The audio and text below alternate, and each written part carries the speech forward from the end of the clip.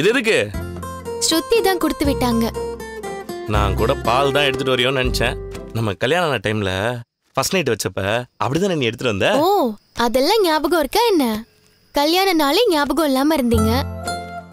சும்மா அதையே சொல்லிட்டு இருக்காத. நமக்கு ரெண்டு கல்யாண நாள் இருக்கு. ரெண்டாவது தடவை நான் கோயில்ல தாலி கட்டினேன் பாத்தியா? அதுதான் என்ன பொறுத்த வரைக்கும் கல்யாண நாள். நான் தான் ஏற்கனவே சொன்னேன்ல. அப்போ கொஞ்ச மாசம் கழிச்சு நமக்கு இன்னொரு கல்யாண நாள் வருமா? ஆ, ஆமா. அன்னைக்கு கொண்டாடிட்டா போச்சு. அப்போ இன்னைக்கு மாதிரியே இன்னொரு ஃபர்ஸ்ட் நைட்டா என்னது? ஃபர்ஸ்ட் நைட்டா எத்தனையோ நைட்டு போயிடுச்சே. எங்க இந்த டேட்ல வரும்னு சொல்ல வந்தேன். ஓ அதுக்கு தான் நம்மள ரூம்ல இருக்க சொன்னாங்களா? இப்பதான் எனக்கு புரியுது. உங்களுக்கு எதுதான் சீக்கிரம் புரிஞ்சிருக்கு? ஏன் புரியாது? அதெல்லாம் நல்லாவே புரியும்.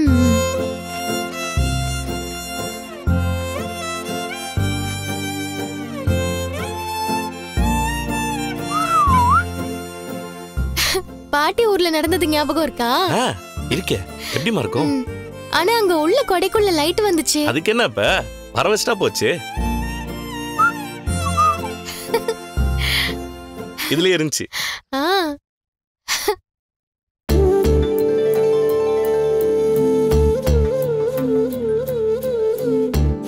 என்னங்க? ஏன் அப்படி பாக்குறீங்க?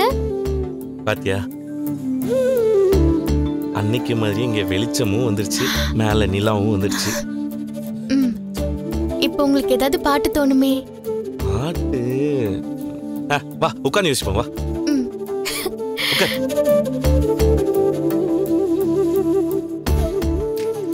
பாடுங்க என்ன பாட்டு? யோசிக்க வேணாமா எனக்கு ஒரு பாட்டு தோணுது. சொல்லுங்க. அன்று வந்ததும் இதே நிலா. இன்று வந்ததும் அதே நிலா. என்றும் உள்ளதும் ஒரே நிலா. இருவர் கண்ணுக்கும் அதே நிலா. இருவர் கண்ணுக்கும் அதே நிலா. காதல் ரோமியோ கண்ட நிலா. கன்னி ஜூலியட் வென்ற நிலா.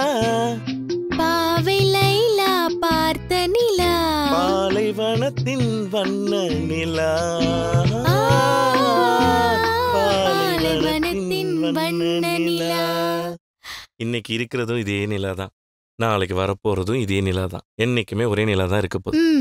அப்ப அமாவாசை அன்னைக்கு? இந்த மாதிரி குதர்க்கமெல்லாம் கேள்வி கேட்க கூடாது அதான் நீ இருக்கல நீ ஏன் நிலா வெளிச்ச மாதிரி தான் இருக்கிற? ஓ